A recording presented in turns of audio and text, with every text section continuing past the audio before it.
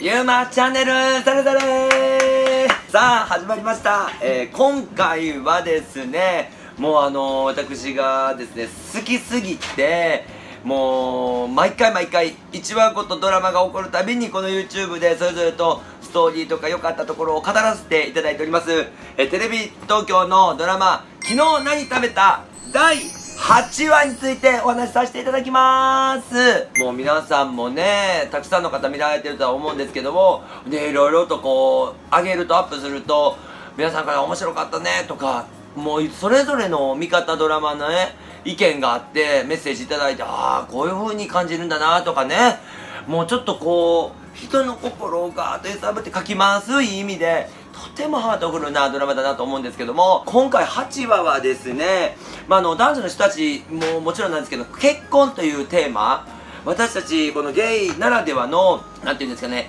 もう結婚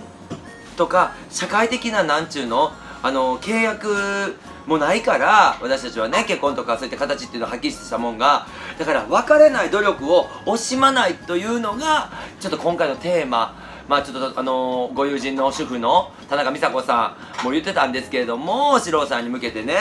まあ、そういったテーマでですね、まあ、あの検事のご友人のですねあのよし君とテスさんのこのカップルが家に来る日があるんですよ。でいきなりだったんで四郎さんがじゃあ手料理振る舞わないとって言ってまたすごい美味しい手料理をバーッと振る舞うわけなんですけどもまあその実はその四郎さんに相談があってその2人は来るわけなんですがその相談というものもその哲さんまあ年上の彼氏さんの方なんですけどもその哲さんがもし仮にですよ今後亡くなった時に自分がこう稼いできた財産とかを家族両親ではなしにその彼彼氏のよしさんに渡したい。というそこでですねいろんなあの手続きをしたいっていうので、まあ、弁護士さんであるその四郎さんにお願いをしに来たわけなんですけどもやっぱり普通のそのまだまだね今のご時世の日本では普通の弁護士さんとかいきなりこう同性あの同士のカップルで財産の件とかとなるとやっぱ弁護士さん自自体があの理解している方じゃないと私たちも行きにくいわけなんですよ。だからそこで四郎さんだったらまあ芸の方だしっていうのでお願いした。そしてですね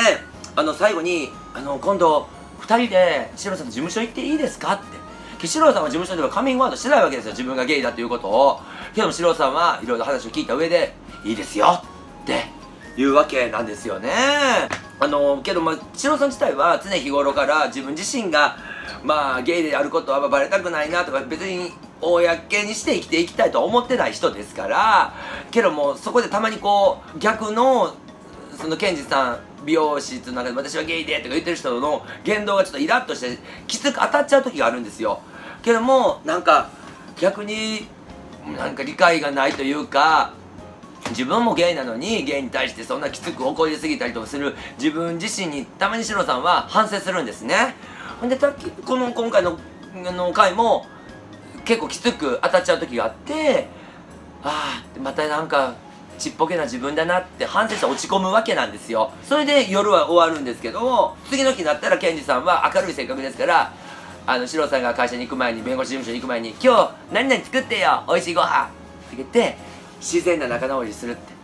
いやあいつのいいとこでもあり俺はもっともっと大きな自分でならないとダメだなとかやっぱりこのいろいろな見られ方偏見とか、まあ、結婚に結びつくそこに向けてなんか今回はいろいろと考えさせられた回だなと思います。今23区東京都でもですね今年2019年の4月に江戸川区と豊島区これがやっと4個目5つ目ですね。23区でした。今まで世田谷区渋谷区そして中野区が去年の8月中にパートナーシップ上でっていうのが結びつけられて、まあ、結婚の、まあ、証明といいますかですね、まあ、正式で結婚できないんですけれどもいろいろと証明書がいただけたら、あのー保険の優遇が効いたりとか、なんかどっちかがパートナーが怪我した時に緊急病院に運ばれた時にも、あの手術室、オペなんかの時のもう寸前まで付き添えたりとか、いろんな制度が各区によって、ね、えー取れるようになってきたということで、まだ新宿に丁目があります。こちらの新宿区はまだなんですよ。まあ、それをね、利用して、いろいろもっともっとさらに絆を深めて幸せになっていくゲイカップルもいるでしょうし、